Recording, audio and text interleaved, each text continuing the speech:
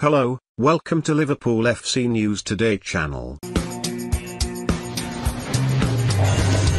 The Uruguayan has previously been linked back with a switch to Anfield in the summer Steve McManaman has poured cold water on rumours that Liverpool could be set to bring Luis Suarez back to Anfield this summer, suggesting that the former striker would prefer to remain in Spain. The Uruguayan has been linked with a sensational return to Merseyside in the summer, with Jurgen Klopp apparently keen to add an experienced option to his front line. Roberto Firmino has underwhelmed this season, whilst Divock has barely been in contention.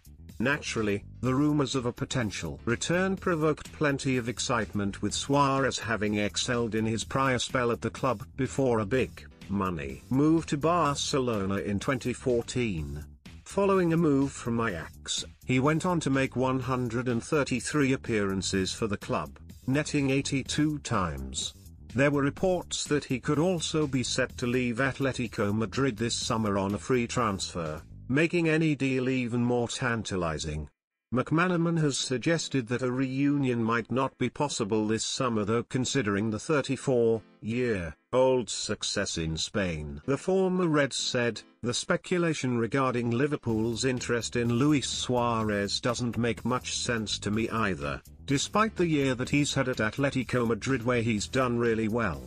Suarez is a great player and he scored a crucial winner against Osasuna at the weekend that will probably guide Atletico Madrid to the La Liga title, but I personally don't believe that he will want to come back to England at this point in his career. He's had a number of years at Barcelona before Atletico Madrid, and he's clearly loving his time in Spain where he's adored, so I just can't envision him returning to the Premier League now. Suarez has only been with Atleti for a solitary season but his impact has certainly been felt. He has netted 20 goals in the league, leading Diego Simeone's men top of La Liga heading into the final round of matches. Los Rojiblancos sit two points clear ahead of nearest rivals Real Madrid.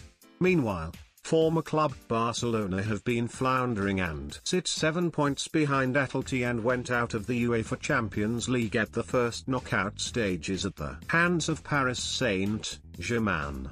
Suarez still has a year to run on the contract that he signed at the Estadio Wanda Metropolitano. He was originally allowed to leave the Nou Camp last summer with manager Ronald Koeman sanctioning his exit to the dismay of Lionel Messi. Whilst speculation surrounds Suarez, the Argentine's future is a hot topic. After failing to secure a move away from Catalonia last season, his contract comes to an end this summer. Steve McManaman was talking to HorseRacing.net,